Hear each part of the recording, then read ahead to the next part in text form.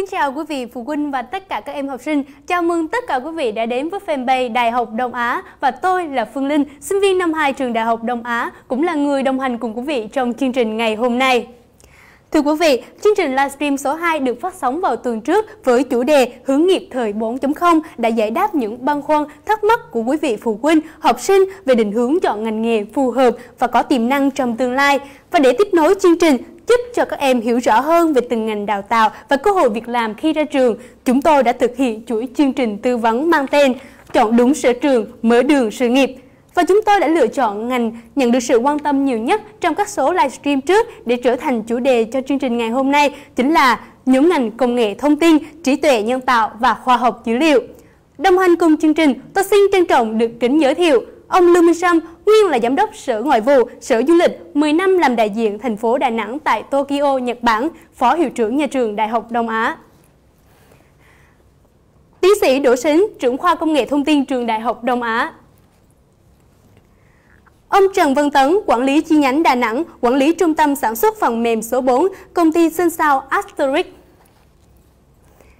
Và ngay từ bây giờ, các bạn có thể đặt câu hỏi ngay dưới comment của livestream này để nhận được sự tư vấn trực tiếp từ các chuyên gia và sẽ có 20 phần quà, mỗi phần quà là một thẻ điện thoại trị giá 100.000 đồng dành cho 20 bạn live fanpage Đại học Đông Á, kèm share livestream ở chế độ không khai và có lượt tương tác nhiều nhất ở phần bình luận.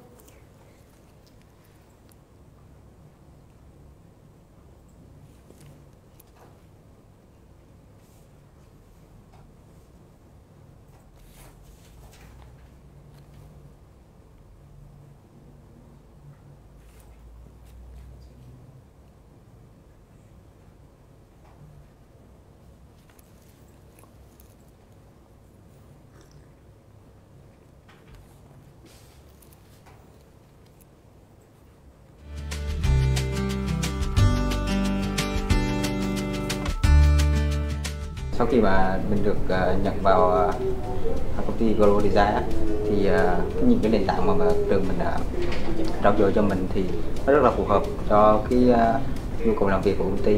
Sau khi mà vào thực tập thì uh, các anh chị trong công ty cũng có uh, sử dụng những kiến thức đó để uh, trao dồi thêm mình những kiến thức để phù hợp với công ty mình hơn. Môi trường của công ty Nhật thì uh, môi trường phát triển ra tốt. Nếu các bạn uh, có cái khả năng nó thu nhập tốt thì cũng có cơ hội đi nhập rất là cao.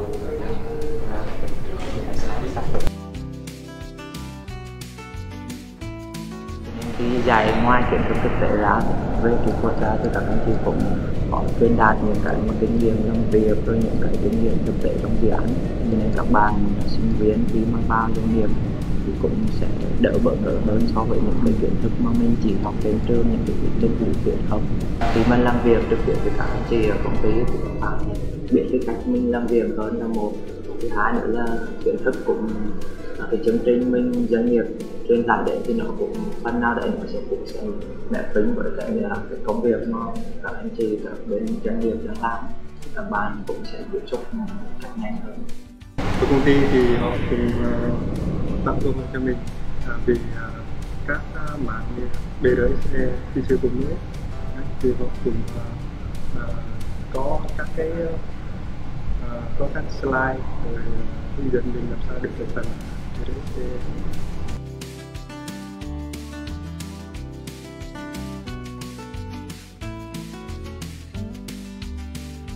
yếu tố mà quyết định đầu tiên á, là mình phải có đam mê mình à, khi mình đam mê á, thì mình làm à, mình học gì á, nó cũng à, dễ dàng hơn.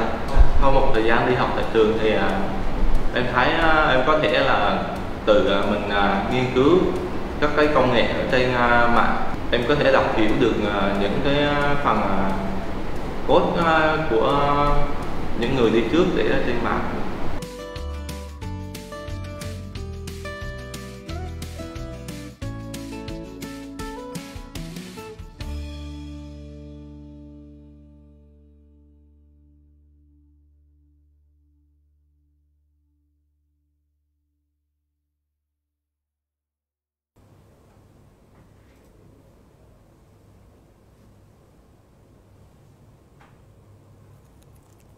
Vâng, thưa quý vị, như đoạn phim vừa xem thì chúng ta đang sống trong một xã hội hiện đại mà ở đó dường như trong bất kỳ lĩnh vực nào cũng cần có sự góp mặt của công nghệ thông tin và thật khó có thể hình dung được cuộc sống của chúng ta sẽ như thế nào nếu một ngày kia những sản phẩm của công nghệ thông tin hoàn toàn bị biến mất. Vì vậy, để vận hành, phát triển các hệ thống và các ứng dụng công nghệ thông tin đòi hỏi một nguồn nhân lực, lực rất là lớn và còn tiếp tục tăng trong những năm tiếp theo. Và để hiểu rõ hơn về vấn đề này, chúng ta hãy cùng gặp gỡ ông Trần Văn Tấn, quản lý chi nhánh Đà Nẵng, quản lý trung tâm sản xuất phần mềm số 4, công ty Sơn Sao Asterisk để cùng lắng nghe chia sẻ về thị trường nhân lực ngành công nghệ thông tin tại Việt Nam. Vâng, xin chào ông, cảm ơn ông đã dành thời gian để đến với chương trình ngày hôm nay. Thưa ông, ông có thể cho biết về nhu cầu nhân lực ngành công nghệ thông tin tại Việt Nam mà cụ thể là ở khu vực miền Trung và Đà Nẵng không ạ? À, đầu tiên thì uh, cảm ơn tất À, đầu tiên mình à, xin gửi lời cảm ơn đến những bạn đang xem livestream của trường đại học Đông Á. Thì ờ, đầu tiên thì mình chia sẻ một chút về theo cái thống kê của thị trường công nghệ thông tin thì của TopDev và Vietnam Work đây là hai trang mà việc làm họ có đưa ra những cái thống kê định kỳ. Thì hiện tại bây giờ Việt Nam thì trong khoảng 3 năm gần đây thì luôn ở trong tình trạng là thiếu nhân sự công nghệ thông tin và tình trạng thiếu nó tiếp tục diễn ra trong 3 năm tiếp theo. Và dự kiến năm 2020 thì thiếu khoảng độ tầm 40.000 nhân sự công nghệ thông tin và tiếp tục con số thiếu là gia tăng trong những năm 2021 và 2022. Thì còn về cụ thể thị trường uh, thị trường Đà Nẵng thì là thiếu bao nhiêu thì chưa có một con số thống kê một cách chi tiết riêng cho thị trường Đà Nẵng. Tuy nhiên với những cái gì mà công ty Sun Atric định kỳ có thống kê và tìm hiểu thị trường thì nhân sự ở Đà Nẵng luôn là trong tình trạng thiếu. Hiện tại trong đặc biệt là trong khoảng 2 năm gần đây thì rất nhiều công ty đặc biệt là cả công ty châu Âu và phía Nhật và công ty Mỹ đầu tư vào thị trường, vào thành phố Đà Nẵng rất là nhiều. Tuy nhiên, luôn ở trong tình trạng là thiếu nhân sự và các công ty phải rất vất vả để tìm nguồn cung. Và khi mà muốn, đặc biệt là rất nhiều công ty, ví dụ như công ty Sun Atrix chẳng hạn, rất muốn mở rộng quy mô năm 2018 nhưng về cơ bản là đã rất khó khăn trong cái việc mà mở rộng quy mô theo cái kế hoạch của mình. Vì vậy sau đó đã phải dừng lại và thay đổi, tạm dừng trong cái quá trình mà việc mà chúng ta tăng cái quy mô một cách nhanh chóng theo cái tham vọng ban đầu. Thì đấy là một phần dẫn đến việc này. Thì đó là cái vấn đề mà thiếu nguồn cung nhân sự. Công nghệ thông tin ở Đà Nẵng nó đang diễn ra rất là, và đến thời điểm hiện tại, và Sun Atric nói chung và các công ty IT ở Việt Nam thì ờ, đang đầu tư tại Đà Nẵng thì vẫn đang ở trong tình trạng thiếu rất nhiều nhân sự IT thì hy vọng là thời gian tới thì ờ, cùng Đông Á cùng với các trường đại học khác ở Đà Nẵng sẽ hỗ trợ một phần để tạo ra nguồn cung nhiều hơn cho để giúp một phần cho cái việc mà thị trường IT Đà Nẵng phát triển hơn. Vâng, vậy tại sao trong bối cảnh công nghệ thông tin khác nhân lực như vậy nhưng mà nguồn nhân sự trong ngành lại vừa thưa lại vừa thiếu ạ? À, thực ra đúng là nó vừa thừa và vừa thiếu thật. Thực tế là khi mà công ty ờ, có phỏng vấn thì ờ, nhiều trường hợp chúng ta hay rơi vào kịch bản là đôi khi rất 10 người thì thông thường như thống kê tại săn thì thông thường chúng ta phỏng vấn 10 bạn thì chúng ta sẽ nhặt được khoảng độ tầm, nếu mà có những cái kỳ mà trung bình tốt thì thông thường chúng ta sẽ nhặt được khoảng 4 đến 5 bạn trên 10 bạn. Nhưng mà có những đợt phỏng vấn 10 bạn, có khi chúng ta chỉ nhặt được một bạn. Thì vừa thừa vừa thiếu ở đây là có thể là với cái số lượng đào tạo rất là nhiều nhưng mà chúng ta ít chú trọng đến cái chất lượng trong khi đó nhu cầu thật là nhu cầu rất là lớn nhưng nhu cầu lớn này không phải là cứ, các bạn nào đào tạo công nghệ thông tin ra thì là cũng đáp ứng được nhu cầu thì đấy là nó đang xảy ra vấn đề là như vậy Vâng, và dường như là cũng vào à, năm 2016 thì công ty của à, ông Tấn đây và Đại học Đông Á đã xúc tiến rất là hợp tác và trở thành đối tác chiến lược của nhau trong việc đào tạo nguồn nhân lực chất lượng theo yêu cầu của doanh nghiệp. Và để hiểu rõ về chương trình này thì chúng ta sẽ nghe những lời chia sẻ từ thầy Xính, trưởng khoa công nghệ thông tin trường Đại học Đông Á. Vâng, uh, kính chào uh, quý vị uh, đang nghe theo dõi chương trình livestream. Và thì uh, từ năm bắt đầu từ năm 2015 thì trường đại học Đông Á đã nhận thấy được vấn đề là làm sao chúng ta đào tạo được các em sinh viên nó sát với thực tiễn. Và năm 2016 thì bắt đầu từ chương trình chúng tôi làm việc với chỗ anh Tấn à, và một số cái đối tác. Bước đầu chúng tôi sẽ đi khảo sát cái nhu cầu của doanh nghiệp và sau đó tạo ra nhiều phiên làm việc với doanh nghiệp là thống nhất các cái nội dung chương trình à, cần đào tạo. Và từ năm 2016 chúng tôi triển khai cái chương trình đào tạo theo hướng ngành công nghệ thông tin và tập trung vào các cái chuyên ngành mà phía doanh nghiệp à, có nhu cầu tuyển dụng.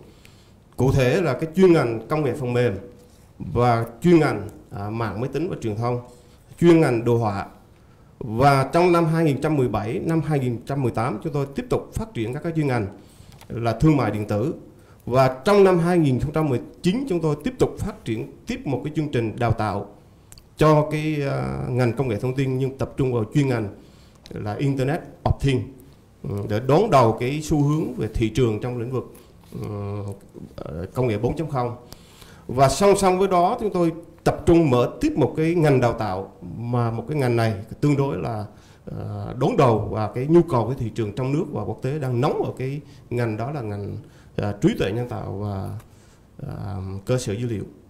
À, đó là là cái hai cái chương trình mà chúng tôi chạy song song gồm có ngành và đào tạo chuyên ngành. Và trong cái đặc biệt ở các cái chương trình đào tạo của trường đại học Đông Á để đáp ứng được cái yêu cầu của doanh nghiệp để tránh cho trường hợp doanh nghiệp phải mất cái chi phí đào tạo lại nguồn nhân lực à, chúng tôi tổ chức các cái kỳ à, thực tập mà cụ thể ở từng cái chương trình như thế. Chúng tôi có ba cái kỳ thực tập ở tại doanh nghiệp và cụ thể là cứ tầm cuối năm 2 chúng tôi có một cái kỳ thực tập và cuối năm 3 chúng tôi có một cái kỳ thực tập và cuối năm tư là các em thực tập tốt nghiệp và chuẩn bị cho cái cái luận án tốt nghiệp à, của mình. À, xin cảm ơn.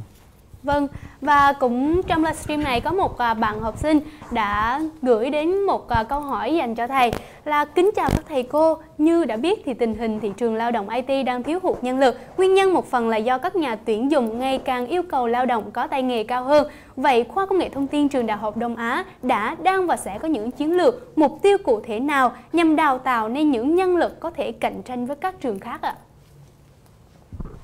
Thì uh, trong uh, nhiều giải pháp thì tôi chỉ uh, nêu cái giải pháp căn cơ nhất là chúng tôi sẽ cải thiện cái cái chương trình dạy và học và chúng tôi thực hiện các cái nhóm dự án giảm cái số giờ dạy lý thuyết và các em tương tác trực tiếp các cái cái, cái các cái mô đun dự án các cái nhóm dự án mà doanh nghiệp họ cần.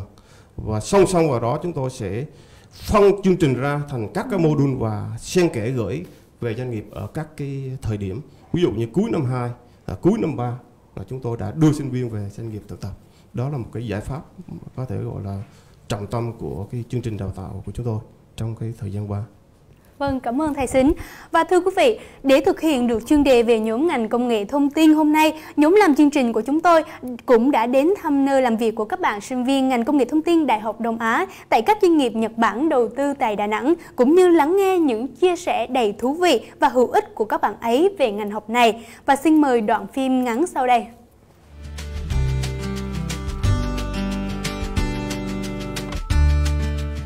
Sau khi mà mình được ờ, uh, nhận vào uh, công ty Global Design thì uh, những cái nền tảng mà, mà trường mình đã trao dồi cho mình thì nó rất là phù hợp cho cái uh, nhu cầu làm việc của công ty.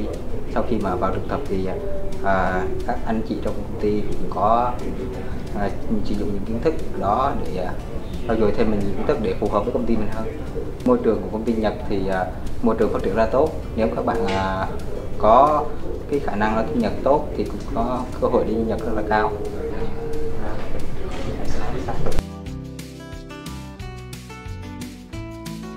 Thì dạy ngoài kiến thức thực tế ra, về kỹ thuật ra thì các anh chị cũng có truyền đạt những cái kinh nghiệm trong việc rồi những cái kinh nghiệm thực tế trong dự án. Nên các bạn sinh viên khi mà vào doanh nghiệp thì cũng sẽ đỡ bỡ ngỡ hơn so với những cái kiến thức mà mình chỉ học trên trường, những cái kiến thức lý thuyết không. Khi mà làm việc trực tiếp với các anh chị ở công ty thì các bạn biết cái cách mình làm việc hơn là một. Thứ hai nữa là kiến thức cũng à, cái chương trình mình, doanh nghiệp truyền tải đến thì nó cũng, phần nào đấy nó sẽ cũng sẽ mẹ tính với cái là cái công việc mà các anh chị các bên doanh nghiệp đang làm. Các bạn cũng sẽ tiếp xúc cách nhanh hơn. Của công ty thì họ cũng à, tặng hội cho mình à, vì à, các à, mạng như BRSE khi sử dụng thì họ cũng à, à, có các cái à, à có các slide rồi hướng dẫn mình làm sao được cái phần BRSE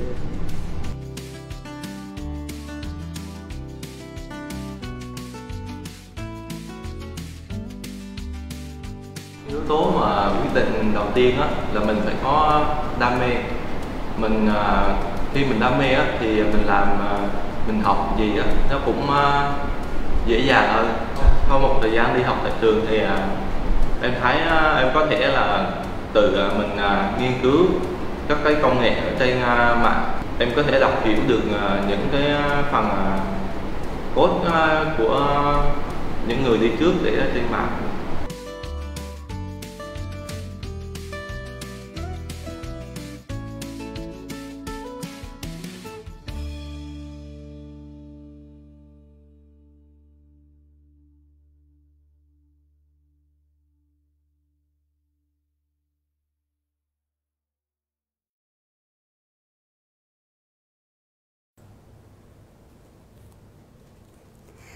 Vâng, cũng bật mí với các bạn học sinh là các anh lập trình viên trong clip cũng là những cựu sinh viên ngành công nghệ thông tin trường Đại học Đông Á sở hữu, hữu hai thế mạnh là học với chuyên gia, học qua dự án bằng chương trình đào tạo hướng Nhật để được tiếp nhận làm việc ngay sau kỳ thực tập nghề nghiệp tại các chính các doanh nghiệp này.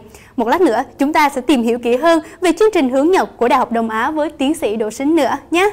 Vâng, và có thể thấy rằng ngành công nghệ thông tin đang là miền đất hứa với cơ hội việc làm rộng mở, mức lương hấp dẫn không chỉ riêng ở thị trường trong nước với rất nhiều vị trí công việc tại các doanh nghiệp Việt Nam và doanh nghiệp nước ngoài đầu tư tại Việt Nam mà còn là cơ hội phát triển nghề nghiệp tại nước ngoài, đặc biệt là Nhật Bản, thị trường chiến lược của Đại học Đông Á những năm gần đây và nhắc đến việc làm tại Nhật Bản cho sinh viên các ngành, trong đó ngành công nghệ thông tin không ai khác có thể hiểu rõ hơn.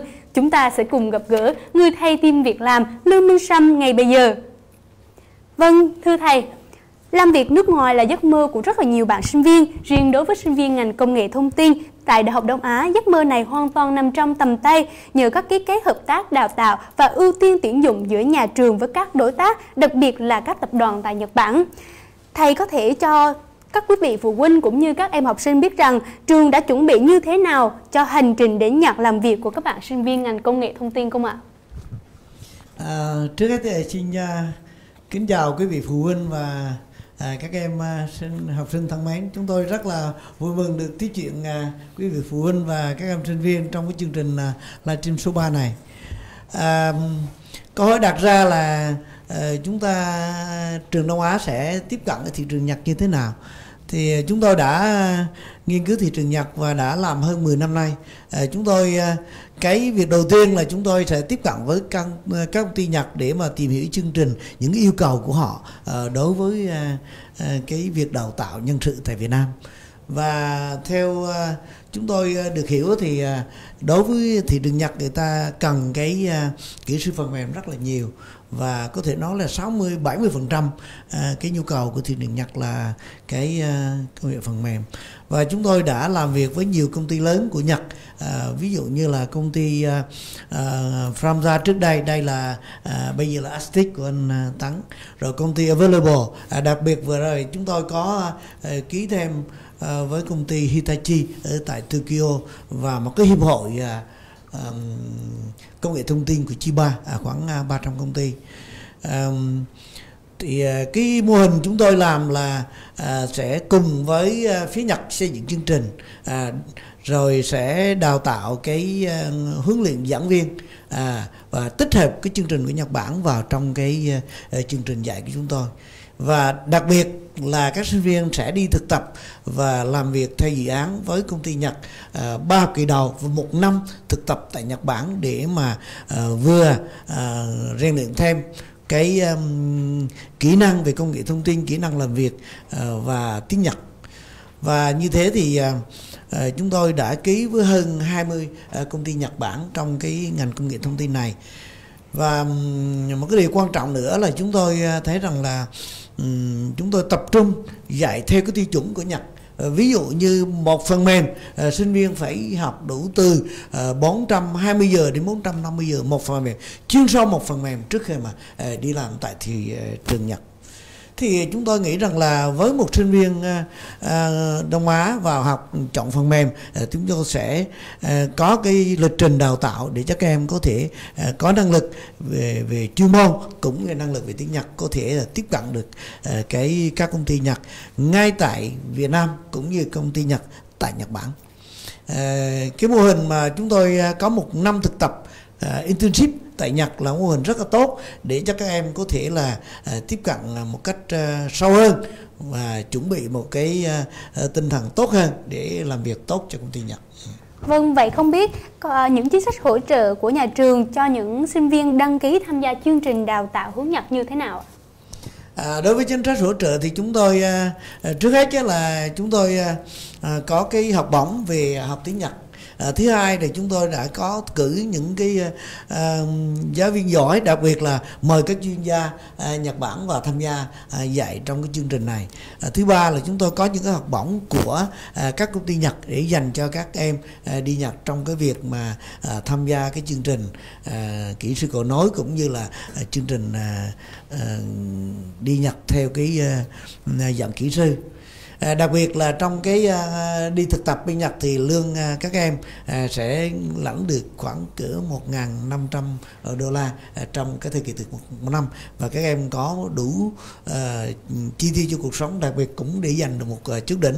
À, sau đó làm việc thì à, à, lương từ cửa khoảng à, 2 ngàn hai ngàn rưỡi đến lương cao nhất ở thị trường Nhật Bản bây giờ khoảng 4 đến 5 ngàn đô như vậy là so với cái thị trường Việt Nam là gì? Việt Nam anh ra ví dụ ngay thị trường Đà Nẵng đây anh ra trường á là kinh nghiệm dưới 2 năm thì cỡ khoảng chừng ba trăm rưỡi đến 500 đô. Kinh nghiệm trên trên ờ, uh, 2 năm thì có thể 500 đến 1 ngàn đô. Thậm chí giám đốc à, giám đốc CEO giám đốc ờ, một dự án cỡ cỡ khoảng 2 ngàn 2 ngàn rưỡi đô. Thì chúng tôi đã cho là cái lương vậy đối với ngành công nghiệp tin rất là cao ở tại thị trường Việt Nam nhưng mà thị trường Nhật Bản lương còn tốt hơn nữa thì đó tôi cho đó là một sức hút rất tốt và các em cố gắng học đều học chuyên ngành và cộng với cái hướng dẫn của thầy cô giáo thì và cái chuyên gia Nhật thì các em có đủ năng lực để có thể đi là Nhật làm việc. Vâng, cũng song song với các uh, câu hỏi cũng như các chính sách uh, đi Nhật của uh, chương trình ngày hôm nay thì có một bạn học sinh đã gửi đến livestream này đó là bạn đến từ bạn Hải Minh là chào thầy thầy cho em hỏi nếu là sinh viên trường mình thì đi Nhật có khó không? Và tụi em đi theo dạng gì? Và học tiếng Nhật thì có khó không ạ? À? đi Nhật thì không có gì khó cả. Miễn là em muốn đi Nhật. Và em học chăm chỉ. Và trường đây sẽ hỗ trợ cho các em học. À, à, về chuyên môn đối với học tiếng Nhật thì cũng không có phải là khó lắm. Người ta cứ nói rằng học tiếng Nhật khó nhưng không phải thế. Khi mà các em có động lực rồi à, thì chúng tôi sẽ hướng dẫn các em học. Đặc biệt à, trường đại học Đông Á là à, chúng tôi đã xây dựng một chương trình học ngoại ngữ nói chung đặc biệt là là bốn mẫu tín chỉ đặc biệt là cái chương trình học tiếng Nhật rất là tốt. Các em vào đã có 41 tín chỉ 650 tiết để các em học từ ngành năm thứ nhất, thứ hai, thứ ba. Và nửa năm thứ ba thì các em có thể đi được. Và có một cái chương trình dạy tăng cường uh, từ các chuyên gia Nhật cho các em uh, trong cái việc học tiếng Nhật. Hiện giờ cửa khoảng 1.800 2.000 sinh uh, sinh viên uh, Đông Á đang học tiếng Nhật. Thì có nghĩa là không phải có gì khó cả. Các bạn học được thì mình sẽ học được. Và trong cái chương trình á khi các em đi Nhật á à, đi thực tập một năm thì hai tháng đầu dành riêng cho các em học tiếng Nhật và tìm hiểu cái cái công ty tìm hiểu như cái, cái cung cách làm việc ở đó. Và à, hai tháng đó rất là quan trọng ừ, để cho các em à, học thêm cái, cái giao tiếp cái ngôn ngữ chuyên ngành để bắt các em bắt đầu làm việc. Thì chúng tôi có một um, xây dựng một cái lộ trình để củng cố về mặt chuyên môn đặc biệt là về tiếng Nhật. Thì tôi nghĩ là các em yên tâm. Vâng đúng như vậy à, là sinh viên năm 2 thì em cũng thấy rằng rất là nhiều bạn à, sinh viên cũng như là những bạn à, bạn học của em cũng đã chọn con đường à, học tiếng Nhật để có thể theo như cái, các chính sách của thầy đã chia sẻ vừa rồi. Vâng và chúng ta cùng quay lại câu hỏi bỏ ngỏ lúc nãy về chương trình hướng Nhật ở ngành công nghệ thông tin. À, như thầy Sam có chia sẻ là sức hút của thị trường lao động tại Nhật Bản rất là lớn, trong đó rất nhiều doanh nghiệp tại Nhật Bản và doanh nghiệp Nhật đầu tư tại Việt Nam và sẵn sàng tiếp nhận nhân sự từ ngành công nghệ thông tin Đại học Đông Á, mà trong đó công ty Sơn Sao Asterix chỗ ông Tấn đây vẫn đang đồng hành trong giảng dạy các mô đun nghề nghiệp cho sinh viên theo quy chuẩn Nhật. Vậy chương trình đào tạo hướng Nhật tại Đại học Đông Á có những ưu thế gì khiến cho doanh nghiệp Nhật lại hài lòng cũng như để sinh viên đáp ứng tốt các công việc trong vai trò kỹ thư, kỹ sư công nghệ thông tin Nhật Bản? Hãy cùng lắng nghe chia sẻ của thầy Xính để hiểu rõ hơn về vấn đề này. Vâng, xin kính mời thầy. À, vâng, thì uh, thật ra thì ờ, chúng tôi cũng rất là chuyên cần, rất chịu khó cùng làm việc với các cái doanh nghiệp Nhật để đi đến cái chương trình. À, như vậy cái chương trình chúng tôi à, chương trình nó à, đào tạo theo cái yêu cầu của họ tức là họ yêu cầu chúng mình phải đào tạo trong ba cái ngôn ngữ lập trình về chọn ngôn ngữ lập trình họ chọn cho chúng ta. Và các cái ờ, doanh nghiệp họ thống nhất tức là chọn thứ nhất là ngôn ngữ Java. Cái thứ hai là ngôn ngữ Ruby. Và thứ ba là ngôn ngữ PHP và ba cái công cụ này họ yêu cầu chúng ta phải đảm bảo đào tạo uh, thực hành theo hướng thực hành 400 cái giờ học um, trên một cái công cụ như thế. Ngoài ra thì uh, phải đảm bảo ba cái mô đun kiến thức khác đó là kiến thức quản trị dự án và kiến thức thứ hai là quản trị Ờ, và quản lý công nghệ phần mềm cái thứ ba là phải phân tích thiết kế được cái hệ thống và trong ba cái khối kiến thức này phải triển khai thành các cái module uh, tăng cường các cái kỹ năng mềm và tăng cường kiến thức quản trị cho các em. Ngoài ra ở cái chương trình đào tạo theo ừ, à, theo thị trường Nhật Bản thì chúng tôi à, bắt đầu từ năm 2020 này chúng tôi thực hiện luôn tuyển sinh à, chương trình công nghệ thông tin định hướng theo thị trường Nhật Bản. Như vậy ở cái chương trình này các em được ừ, bố trí học tiếng Nhật ngay từ cái cái thời kỳ đầu, tức là các em à, nhập học các em sẽ được à, đăng ký vào học các cái ờ, lớp tiếng Nhật ngay từ đầu để đảm bảo làm sao sau 4 năm học các em có đủ được lượng à, à, à, có đảm bảo được cái lượng tiếng chỉ à, N4 hoặc là khá hơn N3 à, các em sẽ tiếp cận cái thị trường à, lao động Nhật Bản. à, đó là cái cái nỗ lực của chúng tôi trong năm 2020. à. À, tôi xin uh, bổ sung thêm cái việc uh, đối với thị trường Nhật Bản. Bây giờ thị trường Nhật Bản chúng tôi uh, hợp tác theo hai cái cái mô hình. Mô hình thứ nhất là chúng tôi hợp tác với ngay các công ty Nhật Bản tại thị trường Đà Nẵng ở Việt Nam. Và các em cũng làm theo cái mô hình dạy theo thực hành và đi ba kỳ thực tập một năm làm việc tại công ty Nhật tại Việt Nam trước khi qua bên bên bên Nhật Bản. Vẫn nói thêm cái thị trường à, các công ty Nhật tại Nhật Bản hiện giờ đó hiện khoảng 50 công ty lớn đầu tư ở Việt Nam và Nhật Bản đang xem xét thị trường Việt Nam sẽ đẩy mạnh những cái chương trình này. À, chương trình đầu tư mà bằng chứng là hai ba năm lại đây thì các công ty phần mềm của Nhật Bản à, đầu tư Việt Nam rất là mạnh đối với à, cái nhu cầu thì thị trường Nhật Bản thì khủng khiếp ừ. à, con số cho biết là à, trong à, ừ, năm 2018 là 2018 là thị trường Nhật Bản cần như là à, hiện giờ đang cần là thiếu 171 ngàn à, nhân sự cho ngành công nghệ thông tin. Năm 20 là thiếu 369 ngàn và năm 2030 là 739 à, ngàn nhân sự. Và chúng ta có những cái công ty đang à, đưa nhân sự của chúng ta à, qua Nhật rất là nhiều. À, có nhiều công ty đưa hàng trăm thậm chí là ba bốn trăm một năm à, để làm tại thị trường Nhật. À, chúng tôi cho là cái sức hút của thị trường Nhật rất lớn. Sức hút ở chỗ là họ thiếu quá nhiều sức hút ở chỗ là lương rất tốt và sức hút ở chỗ là cái tổ chức cái cái công nghệ của họ rất là cao. Và tôi nghĩ rằng sinh viên nào đạt đi làm việc ở Nhật Bản làm cái niềm tự hào và cái con đường thăng tiến trong nghề nghiệp rất là tốt. À, nhân đây tôi cũng nói thêm là đối với thị trường thì vậy thị trường trong nước sao? Chúng tôi chiến lược chúng tôi vẫn là vẫn coi trọng cái thị trường trong nước. Ngay giờ Đà Nẵng đây năm 2020 cần 19.000 nhân sự. Cả nước Việt Nam đang học 400.000 nhân sự. Và chúng tôi đang nhắm cái điều đó bên cạnh à, điều đó là chính. Và chúng tôi đến ngay à, Nhật Bản. Và chiến lược của chúng tôi sẽ phát triển cái ngành à, công nghệ thông tin trở thành một cái ngành chủ lực của Đại học Đông Á. Phải nói rằng cái ngành công nghệ thông tin của Đông Á là thành lập sớm nhất gần 20 năm nay và có một cái ờ, ờ, đổi mới rất là tốt trong cái việc mà giảng dạy cũng như là ừ, trong việc tiếp cận với cái sự thay đổi nhanh chóng của ngành công nghệ thông tin ờ, của nước chúng ta cũng như trong khu vực. Vâng, và có một câu hỏi mà không chỉ những các bạn học sinh đang rất là muốn biết mà còn các bạn sinh viên hiện tại đang học tập tại trường cũng rất là muốn biết đó là chương trình hướng Nhật học phí có cao hơn chương trình bình thường hay không ạ?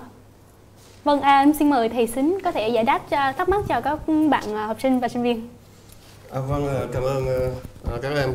À, đúng là chủ đề các em quan tâm nhiều. À, về cái uh, chính sách học phí thì uh, uh, trong lĩnh vực công nghệ thông tin thì uh, dự kiến sắp đến khoa sẽ đề xuất với nhà trường chính sách học phí với chương trình Nhật Bản. Thì cái chính sách học phí này thì thật sự thì nó có tăng hơn nhưng mà không đáng kể 10% ban đầu chúng tôi dự kiến 10 phần trăm. Nhưng mà hiện nay có cái lợi thế tức là nhà trường hợp tác với các cái đối tác Nhật Bản và các thầy Nhật Bản trực tiếp dạy. Và thứ hai nữa là ờ, trong trường hợp mà các em phải bỏ ra cái phần chi phí mà 10% so với chương trình bình thường thì à, một số cái doanh nghiệp à, họ cam kết rằng là sau khi họ à, tiếp nhận các em là họ sẽ hoàn lại cái tiền học phí mà các em ờ, sẽ bỏ ra. Tuy nhiên thì về phía khoa thì vẫn ờ, vẫn giữ quan điểm là sẽ đề xuất với nhà trường là cái chương trình, cái học phí của chương trình đi Nhật và cái học phí chương trình công nghệ thông tin là sẽ ờ, bằng nhau. Bởi vì là cái ờ, trong cái giai đoạn đầu hiện nay là cái sự hỗ trợ rất lớn từ các cái đối tác Nhật. À, cho nên là cái phần mà à, giảm 10% là được từ các đối tác Nhật họ đã hỗ trợ à, thông qua các học bổng vân vân. Thì cái đó là sẽ có chính sách cân đối chung. Vâng cảm ơn các bạn. Vâng và à, bên livestream của chúng tôi cũng đã nhận được một à, câu hỏi đến từ bạn công quyết là thầy ơi em muốn hỏi là giờ em đang chọn học công nghệ thông tin nhưng em học tiếng Anh thì có cách nào để đi Nhật hay không ạ? À? À, tôi sẽ trả lời câu hỏi. Vâng, xin mời thầy Sâm. À, em đang học tiếng Anh rất tốt ngành công nghệ thông tin có làm ở Nhật có làm ở Mỹ có làm ở Campuchia thì cũng phải là tiếng Anh là cơ bản nhất. Vì à, các em có được tiếng Anh thì em mới tiếp cận các cái um, công nghệ thông tin mới tốt được. Thì ở đây đó các em đi Nhật vẫn còn học uh, tiếng Anh. Và khi em học tiếng Anh là chuyển học tiếng Nhật thì à, chúng tôi phải có chương trình. Ví dụ hai năm đầu em học tiếng Anh năm thứ ba thứ tư em học tiếng Nhật và tôi sẽ có một cái chương trình à, tiếp tục à, dạy à, internship cho em à, đạt đến anh nửa bốn tương đương nửa ba trước khi đi Nhật. Và sau khi đi Nhật rồi em sẽ có một cái chương trình thực tập. Trong một năm đó em sẽ tương đương với nửa hai và lúc đó em làm à, việc một cách tốt nhất được. Vâng và chúng tôi, chúng ta đã vừa được nghe những thông tin rất là hữu ích và thú vị về chương trình đào tạo hướng Nhật của ngành công nghệ thông tin. Vậy, học công nghệ thông tin ra trường sẽ đảm nhận những vị trí nào và tốt những ngành nghề có mức lương cao nhất trong lĩnh vực công nghệ thông tin là gì? Hãy cùng lắng nghe những chia sẻ thêm đến từ thầy Sính, trưởng khoa công nghệ thông tin trường Đại học Đông Á. Vâng, cảm ơn các bạn. Đúng là các bạn quan tâm vào vấn đề cần quan tâm. À, thì à, chắc là tôi trả lời trước cái phần à, à, cái à, cái tốt thu nhập cao à, top thu nhập các cái ngành nghề. À, và để tới đó các bạn có cái hình dung chung. Thì à, trong lĩnh vực công nghệ thông tin thì thường thường là sau khi tốt nghiệp 4 đến 5 năm và các bạn có cái, các cái khả năng tốt thì các bạn sẽ chiếm giữ ở các cái vị trí à, gọi là à, CIO tức là Chief Information Officer. Thì ở cái vị trí này thì à, cái mức lương nó cũng tương đối tốt. À, riêng trong cái thị, thị trường trong nước thì cái mức trung bình cho cái vị trí này tầm 5.700 đến 6.000 USD một tháng. Đó cái top gọi là cái top đầu tiên top đỉnh đó.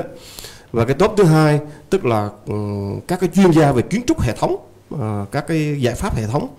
Thì uh, các bạn cũng yêu cầu cái kỹ năng khoảng tầm 3 đến 4 năm uh, sau khi các bạn tốt nghiệp mà các bạn nỗ lực thì các bạn sẽ đạt cái mức lương uh, khoảng tầm 4.000 USD và tiến đến cái mức ừ, thứ ba gọi là mức cho dành cho những bạn kỹ thuật thì có một cái xu hướng tức là các bạn học về machine learning và uh, affiliate intelligence tức là máy học và trí tuệ nhân tạo thì các bạn sẽ uh, giữ cái mức lương tầm 2.000 USD ừ. và lĩnh vực uh, top kỹ thuật ở tiếp theo là lĩnh vực về uh, dữ liệu và uh, và big data thì các bạn có thể đạt mức lương khoảng tầm uh, khiêm tốn hơn tức là khoảng tầm 1.000 700 và trong đó có cả cái database tức là cái cơ thiết kế cơ sở dữ liệu.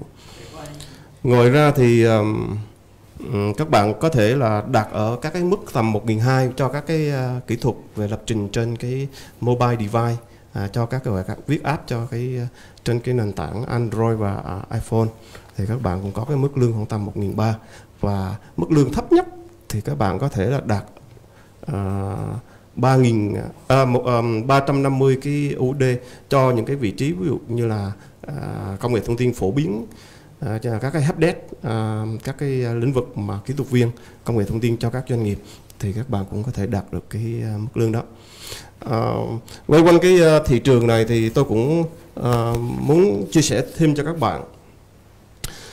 Công nghệ thông tin nó tăng liên tục cái nhu cầu sử dụng nhân lực. À, như vậy chúng ta biết là bắt đầu từ năm 2016 là cái thị trường trong cả nước chúng ta cần tới 18.000 cái nhân lực. Nó tăng đến 45% so với năm 2015 rồi tiến đến năm 2017 à, ờ, chúng ta lại đạt cái thị trường trong nước đạt 28.000 ờ, đạt à, xin lỗi đạt 26.000 như vậy nó tăng đến 47% rồi ờ, năm 2018 lại tạo ra một cái đột biến. À, nó lại cần đến 40.000 nhân lực. Ừ, 40.000 nhân lực và nó tăng đến 50% và năm 2010 19 nó là đạt con mốc là 62.000 à, nhân lực tức là đạt 57% tăng với so năm 2018 các bạn thấy nó rất là kinh khủng. Và người ta dự đoán rằng là trong năm 2020 và 2021 thì toàn bộ cái thị trường trong nước nó yêu cầu đến 400.000 đến 500.000 cái nguồn nhân lực. Mà chúng ta đang biết là à, trong cả nước chúng ta có 153 cái trường đào tạo công nghệ thông tin. Thì công suất đào tạo tối đa cũng chỉ cho ra là trung bình là 40 đến 50 nghìn tức là đạt 1 phần 8 đến 1 phần 10 cái uh, nhu cầu về nhân lực công nghệ thông tin. À, nói như vậy các bạn cứ tự tin rằng à, công nghệ thông tin luôn luôn vẫn là cái ngành mà nó hot hiện nay. À, các bạn có nỗ lực thì các bạn sẽ thành công mà các bạn cũng không lo lắng về cái việc làm à, trong nước hoặc là cái thị trường Nhật. À, cũng xin thông tin các bạn thêm rõ hơn như thế. Vâng, những lời chia sẻ của thầy dường như cũng đã giải đáp được các thắc mắc của các bạn về vị trí việc làm cũng như à, các à, tốt những ngành nghề có mức lương cao cho ngành công nghệ thông tin. Vâng, và xin mời các em học sinh cũng như quý vị phụ huynh chúng ta cùng tiếp tục đặt câu hỏi ngay dưới comment của livestream này và đồng thời 20 bạn có tương tác nhiều nhất sẽ nhận được một phần quà là một thẻ điện thoại trị giá 100.000 đồng. Và Song song với livestream này thì có rất là rất là nhiều câu hỏi của các bạn học sinh cũng như quý vị phụ huynh gửi đến các chuyên gia ngày hôm nay. Và có một câu hỏi xin gửi đến à, ông Tấn là thầy cho em hỏi để lọt vào mắt xanh của nhà tuyển dụng và tỏa sáng tại công ty. Ngoài kiến thức chuyên môn thì tụi em cần phải thủ sẵn những kỹ năng cần thiết nào? Ông có thể chia sẻ một vài à, các kỹ năng để giúp cho các bạn học sinh cũng như sinh viên có thêm kiến thức sau này không ạ? À, thì dưới góc nhìn của doanh nghiệp thực tế và thực tế những cái bạn mà thành công và tiến xa trên con đường sự nghiệp của mình ấy thì uh, tôi sẽ chia sẻ một vài cái ngoài cái lĩnh vực chuyên môn thì nó điều đương nhiên. Nhưng mà ngoài cái chuyên môn ra chúng ta cần rất nhiều những kỹ năng khác. Ví dụ như một số kỹ năng tiêu biểu có thể giúp cho chúng ta tiến xa và nhanh trên con đường sự nghiệp của mình. Đó là luôn luôn cởi mở. Cái suy nghĩ của chúng ta lúc nào cũng phải cởi mở và luôn luôn uh, xác định là những cái gì chúng ta học ngày hôm nay thì nó có thể không có tác dụng nữa ngay trong ngày mai. Và cái quan trọng nhất không phải là chúng ta, cái tư duy của các kỹ sư công nghệ thông tin ở Việt Nam chúng ta hay mắc phải sai lầm, đó là chúng ta mắc, chúng ta hay rơi vào cái bẫy đó là kỹ sư về ngôn ngữ chứ không phải là tư duy về kỹ sư về lập trình. Thực ra thì một số bạn à, học thì chúng ta học được một ngôn ngữ lập trình, cụ thể là ví dụ Ruby hoặc là PHP hoặc Java thì chúng ta gắn chặt mình vào cái phụ thuộc vào cái ngôn ngữ lập trình đấy. Và khi mà thị trường công công nghệ nó thay đổi liên tục và khi ngôn ngữ đấy nó không còn thịnh hành nữa, có những ngôn ngữ nó tiến bộ hơn, thì chúng ta lại cảm thấy là bị trói buộc vào cái ngôn ngữ mà chúng ta đã học được. Thì thành ra chúng ta bị lệ thuộc vào ngôn ngữ trong đó, khi đó ngôn ngữ nó chỉ là công cụ thôi, nó không phải là phản ánh cái tư duy và trình độ của lập trình viên vì vậy tôi hy vọng là các bạn thay đổi cái suy nghĩ luôn luôn phải sự chủ động trong công việc. Một trong những cái mà chúng ta thiếu khi mà tiếp cận ra thị trường thực tế đó là chúng ta hay ở thế thụ động. Chúng ta không dám nói ra những yêu cầu và chúng ta không dám thử thách mình ở những cái cấp độ cao hơn.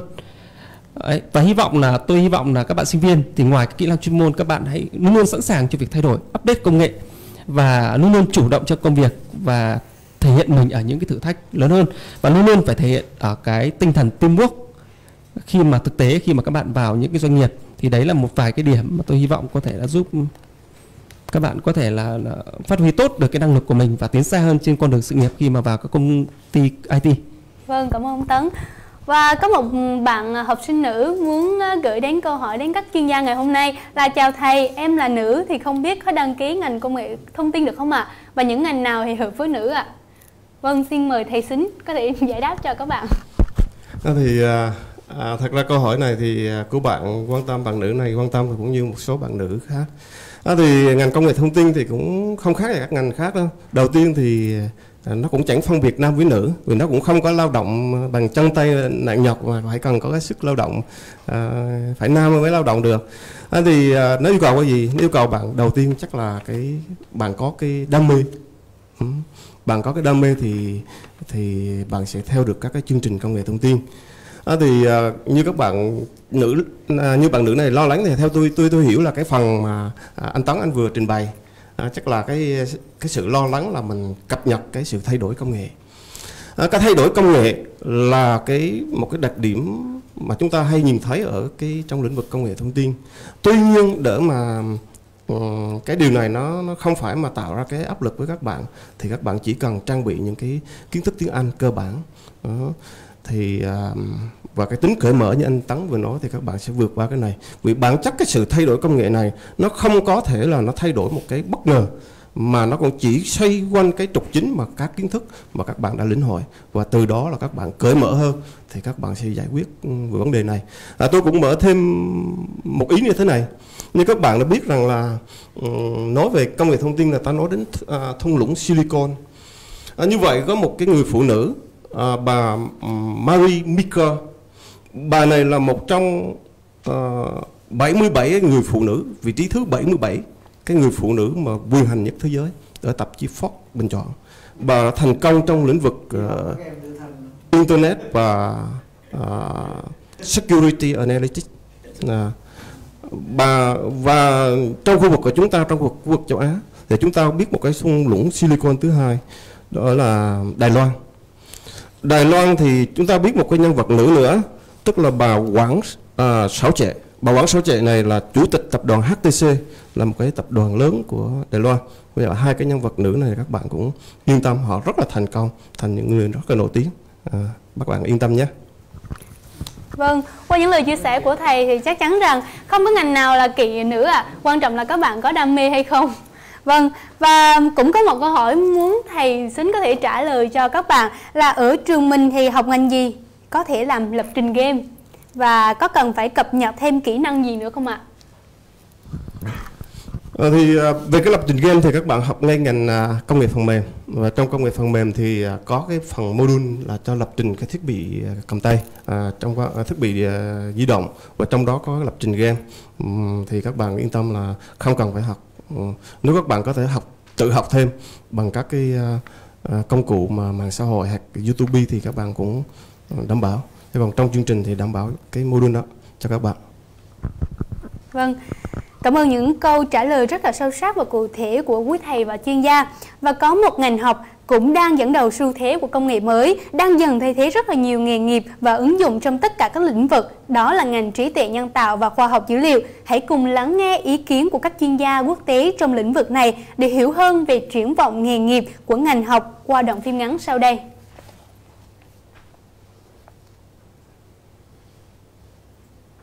is there are many possible works. As I said, in the future, the industry will be uh, mostly made uh, of the, the, the, this kind of analysis, which, which will be very uh, unavoidable. Đây tôi nghĩ là một cái cái cơ hội rất lớn cho sinh viên miền Trung nói riêng và Việt Nam nói chung tại vì hiện nay cái nhu cầu việc làm của học dữ liệu tại Việt Nam vẫn đang là rất lớn vẫn một cái nhu cầu rất là lớn. Ví dụ như cái trung tâm nghiên cứu về mạng của Viettel người ta đang tuyển cái kỹ sư về khoa học dữ liệu và lương của người ta trả tầm khoảng 1 ngàn cho tới 3 ngàn ờ, đô la cho một vị trí. Rồi đồng thời những cái vị trí về khoa học dữ liệu hiện nay ở trên thế giới và châu Âu nó cũng rất là thiếu vì ờ, cái nhu cầu rất là lớn nhưng mà cái ờ, cái đào tạo nó nó, nó chưa đáp ứng được thì đó là một cái cơ hội rất tốt cho sinh viên. Tại vì sinh viên ngành khoa học dữ liệu sau khi tốt nghiệp sẽ làm việc trong tất cả các ngành khác nhau. Ví dụ ngay cả trong kinh doanh thì sinh viên khoa học dữ liệu sẽ giúp cho công ty có những cái quyết định đúng đắn trong kinh doanh.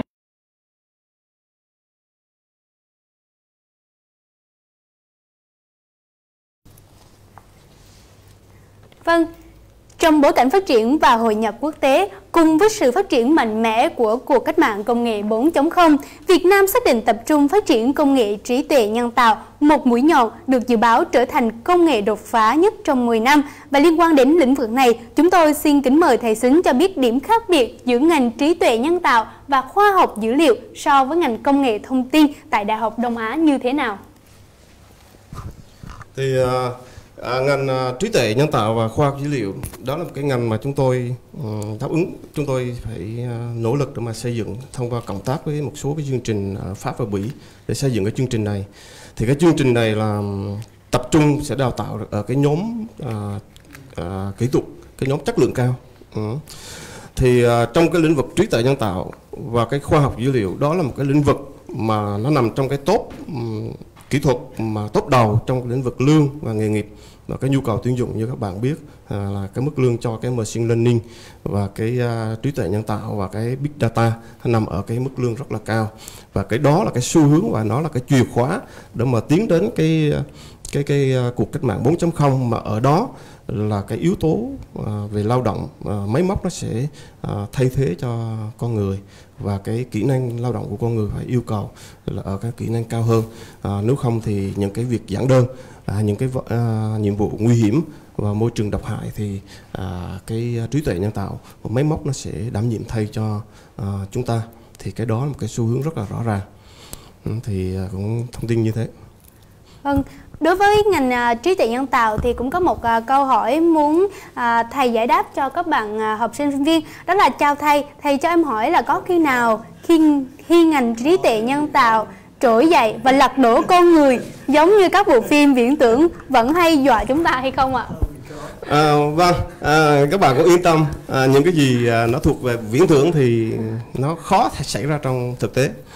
À, vậy thì nói đến trí tuệ nhân tạo thì um, tôi lại nhớ đến một cái nhân vật mà thâm tâm tôi rất là khâm phục. Đó là cái nhà toán học à, Alan Turing. Ông là nhà toán học người Anh.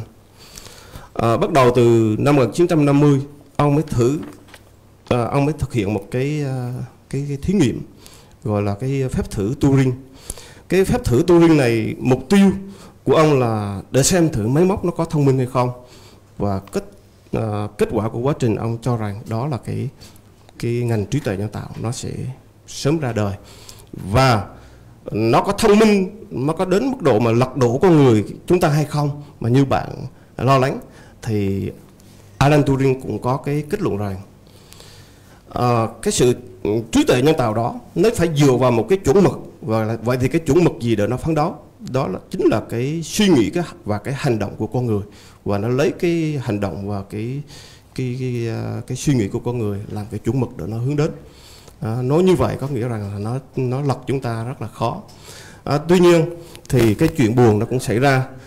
Tức là năm à, 1954 thì Alan Turing lại mất. Và ông lúc đó ông tròn 42 tuổi. Và ông đã à, đính hôn với một một người phụ nữ.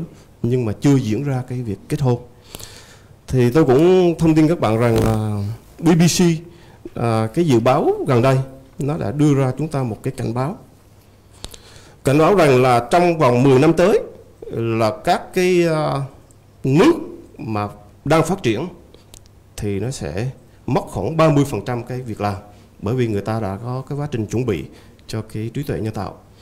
Còn ở các nước đang phát triển thì có thể mất đến 50 đến 70% cái việc làm. Mà trong đó là ví dụ Việt Nam chúng ta là một cái ờ, cái nước là đang phát triển. Vậy thì ờ, chúng ta có lo lắng rằng là chúng ta mất việc làm hay không? À, thưa các bạn chúng ta sẽ không có lo lắng đến mức độ đó. Bởi vì nó bắt chúng ta là phải làm việc chuyên nghiệp hơn. Và những cái công việc mà lặp đi lặp lại độc hại thì máy móc nó làm việc chính xác hơn và nó hiệu suất hơn chúng ta à, ví dụ như tôi ví dụ cho các bạn ví dụ cái nghề à, chụp ảnh. Ví dụ hàng ngày chúng ta chụp ảnh ở cầu rồng chúng ta phải chọn những cái vị trí đẹp cho chúng ta lia máy có những cái bức ảnh đẹp. Vậy thì nó yêu cầu chúng ta phải nâng cao và chúng ta làm việc chuyên nghiệp hơn. Chúng ta phải có những cái nhà à, chụp ảnh chuyên nghiệp biết chọn góc máy biết uh, quan sát cái độ ánh sáng môi trường và biết lia máy ở những góc độ um, à, khác nhau để có được cái bức ảnh đẹp. Và lúc bây giờ à, những cái nhà mà chuyên nghiệp như thế này là chỉ dẫn cho máy là tức là ta huấn luyện cho máy biết rằng là các cái thông số là như thế nào thì phải thực hiện chụp như thế nào. Và đó trí tuệ nhân tạo nó sẽ thay thế chúng ta và nó bắt chúng ta phải nâng cao cái à, chất lượng trong cái công việc của mình. Và các cái công việc lặp đi lặp lại thì dần dần sẽ được máy móc thay thế. À, không cũng xin à, chắc cũng trả lời như thế cho các bạn yên tâm Vâng, và để cho một phần các bạn yên tâm hơn nữa thì xin mời thầy Sam có thể bổ sung được và thêm những các lời tư vấn cho các bạn trong ngành hàng này. À, tôi à, bổ sung thêm à, cái ý kiến của thầy Sinh á. À, tôi cho rằng cái ngành à, trí tuệ nhân tạo và big data là cái phát triển rất là mạnh à, trong vòng vài ba năm nữa thôi, không xa nữa và cái tạo ra ngành nghề rất là lớn. Các, các em không phải sợ mất mất nghề đâu. Cái thứ hai nữa là một ngành rất hấp dẫn cho giới trẻ, cho những người đam mê công nghệ thông tin đam mê đam mê big data và đam mê trí tuệ nhân tạo. Và cái nơi vườn bắt hứa cho các em. Và cái thứ ba đó thì hiện Đông Á đang mở cái ngành đó các em cứ đăng ký vào và chúng tôi sẽ ừ, giúp các em thành công. Vâng, và cũng ngành trí tuệ nhân tạo thì thầy Xính cũng có thể giải đáp cho các bạn à, rằng ở Việt Nam cơ hội việc làm dành cho ngành trí tuệ nhân tạo đã nhiều chưa ạ? Vâng, đây chắc chắn là một câu hỏi rất là nhiều bạn đang rất là thắc mắc ạ. À, như tôi đã nói cái à, phần trước ấy, thì cái ngành à, trí tuệ nhân tạo thì các bạn phải lưu ý như thế này. À, thứ nhất là cái uh, machine learning, đó là học máy là một. Thứ hai là affiliate intelligence uh, trí tuệ nhân tạo. Thứ ba là big data và uh, đó là một cái một số cái lĩnh vực mà chúng ta sẽ thấy. Ngoài ra thì chúng ta sẽ hình dung như thế này. Cái uh, Internet of Things nó là cái nền tảng một cái nền tảng mà tiến đến các cái dịch vụ thông minh như là smart uh, ờ, trong thông, trong nông nghiệp rồi trong đô thị rồi trong uh, công nghiệp vân vân đó là cái gián dấp của cái internet of things và trí tuệ nhân tạo nó nằm ở đó và phải nói rằng chưa có một cái cuộc cách mạng nào mà nó làm thay đổi như cái cuộc cách mạng 4.0 này, và các bạn sẽ sẽ thấy rằng cái cuộc cách mạng 4.0 này, nó không những thay đổi, nó không những tác động từ từ các bạn, mà nó tác động ngay lập tức cho các bạn. Ví dụ cho thấy ngay các cái hãng xe công nghệ, vân vân, chúng ta thấy ngay. Và như vậy có nghĩa rằng là cái tác động kinh khủng của cách mạng 4.0 này, nó không có từ từ, không có chậm rãi, mà nó sẽ tác động đến bạn bất kỳ và rất nhanh chóng, bất kỳ lúc nào. Và trong đó cái dáng dấp của trí tuệ nhân tạo nó nằm ở trong đó các bạn xin cũng lưu ý dùm Vâng, cảm ơn những lời chia sẻ của thầy về ngành trí tuệ nhân tạo và quản lý dữ liệu. Vâng, nếu các bạn muốn đăng ký ngành công nghệ thông tin, trí tuệ nhân tạo và khoa học dữ liệu thì có thể xét tuyển theo một trong ba phương thức. Phương thức thứ nhất, xét tuyển theo kết quả thi Trung học phổ thông quốc gia 2020, điền vào nguyện vọng xét tuyển đại học, mã trường, DID. Phương thức thứ hai, xét tuyển theo học bạ trung học phổ thông, điểm trung bình cộng cả năm lớp 12 lớn hơn hoặc bằng 6.0. Và phương thức thứ ba đó là xét tuyển thẳng. Hãy đăng ký tại đông á.edu.vn, xuyệt tuyển sinh, xuyệt đăng ký. Và các bạn hoàn toàn yên tâm, nhà trường sẽ lựa chọn phương án xét tuyển có lợi nhất cho tất cả các bạn để các bạn có thể tự tin trở thành tân sinh viên trường Đại học Đông Á. Vâng, hy vọng những thông tin của chúng tôi đã vừa cung cấp cho các bạn sẽ là những sự lựa chọn đúng đắn cho riêng mình. Và còn bây giờ, xin kính chào các em học sinh cũng như quý vị phụ huynh. Hẹn gặp lại quý vị trong chương trình tư vấn của trường Đại học Đông Á vào lúc 19 giờ 30 thứ sáu tuần sau với chủ đề số 4 nhóm ngành ngôn ngữ. Hãy gửi thắc mắc cho fanpage Đại học Đông Á nếu các bạn có tư vấn thêm nhé. Xin chào và hẹn gặp lại. Thank you.